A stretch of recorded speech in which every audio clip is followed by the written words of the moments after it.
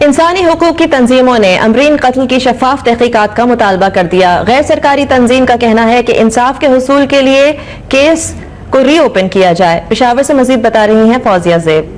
Peshawar press club میں انسانی حقوق پر کام کرنے والی نجی تنظیم کی سربراہ شاہدہ رحمان نے پریس کانفرنس کرتے ہوئے کہا کہ صوبائی حکومت امبرین قتل کیس میں اس کے خاندان کو رقم دے کر منہ بند کرنے کی بجائے اصل ملزمان کو گرفتار کرے۔ بیس بیس لاکھ کے اعلان انعام دیں گے، متاثرہ خاندان کو دیں گے۔ آپ مجھے ایک بات بتائیں، انعام اس کے پی کے کی گورنمنٹ نے دیے لیکن کے پی کے کی گورنمنٹ سے ایک میرا سوال ہے کہ کیا ملزم پکڑے ہوئے ہیں؟ امرین قتل کیس میں ملزم کون ہے؟ کیونکہ جو چودہ لوگ پکڑے ہوئے ہیں، نہ میں ان کے لیے بات کر رہی ہوں، نہ میں امرین کے لیے بات کر رہی ہوں۔ میں اس قاتل کے لیے بات کر رہی ہوں، جو اتنی صفائی سے قتل کر کے آرام سے بیٹھا پریس کانفرنس کرتے ہوئے نجی تنظیم کی سربراہ کا کہنا تھا کہ پندرہ رکنی جرگے میں گرفتار کچھ افراد بے گناہ ہیں جنہیں جلد سے جلد رہا کیا جائے۔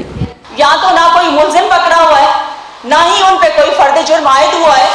ایک مہینے سے ریمانڈ لے رہے ہیں ٹھیک ہے ابھی ان کو جیل بھیج دیا گیا ہے لیکن ان کے اوپر کوئی فرد جرم عائد نہیں ہوا۔ نہ ہی انہوں نے قبول کیا ہے کہ ہم نے کیا ہے۔ نجی تنظیم کی سربراہ نے الزام عائد کیا کہ قتل کی اصل ملزم امبرین کی والدہ بھی ہے جس کے خلاف بھی